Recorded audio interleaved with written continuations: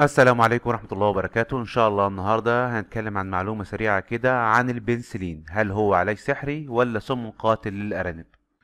أولا البنسلين ده مضاد حيوي. ناس كتير بيستخدمه في علاج الأرانب من أمراض كتير منها مثلا الخراريج أو المشاكل التنفسية. وأنا شخصيا قدمت فيديو قبل كده كنا بنستخدم فيه البنسلين في علاج بلل الفم في الحالات المتقدمة. طيب إيه الخطورة اللي ممكن تكون من البنسلين وليه في ناس بتحذر منه؟ تعال نشوف مع بعض. اللي هقوله ده عن ملاحظة شخصية ليا وعن حاجة أنا لاحظتها في أنبول البنسلين أو vial البنسلين.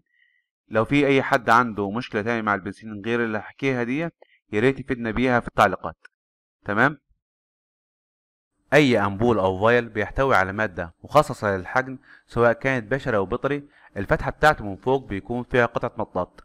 قطعة المطاط دي من خلالها ممكن ندخل سن الإبرة ونتعامل مع المادة اللي داخل ال vial أو الأنبول سواء كانت powder بنحلها بالمية أو بالسائل المخصص لكده ولو كان السائل بنسحبها على طول وبعد كده نحقن بيها من خلال الإبرة.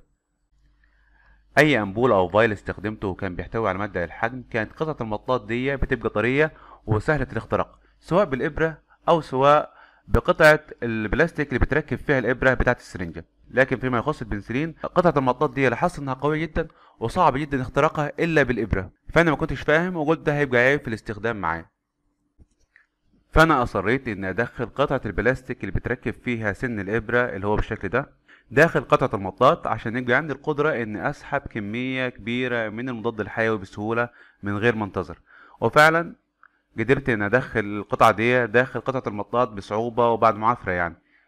لكن اللي حصل بعد كده كان في مشكلة كبيرة.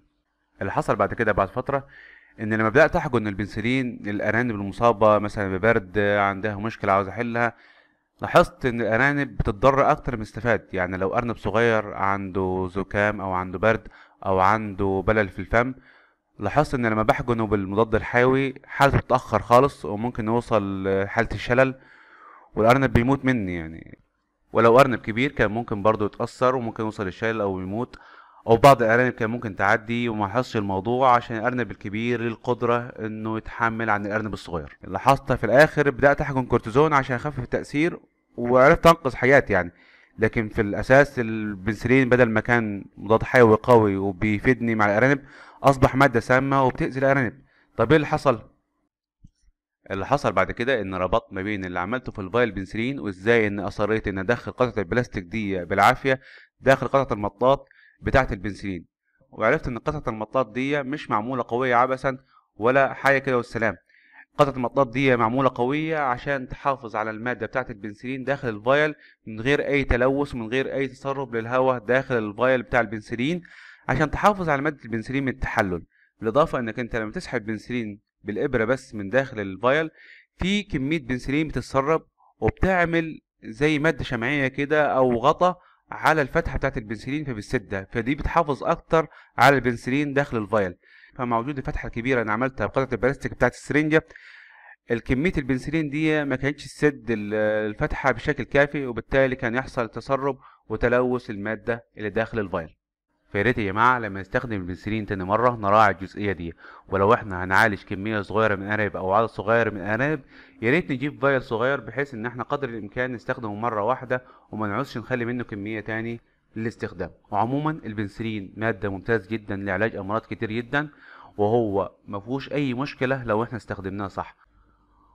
وأتمنى إن يكون الفيديو ده عجبكم وإنكم تكونوا استفدتوا منه. ما تنسوش like الفيديو و subscribe للقناه لو أنت مش مشترك معانا. ولو ليك أي استفسار حوالين الفيديو ده أو حوالين تربية الأرانب بشكل عام أو ليك تجربة خاصة مع البنسلين تحب تشاركها معانا ياريت تسيب لنا بيها comment أو تعليق تحت الفيديو. والسلام عليكم ورحمة الله وبركاته.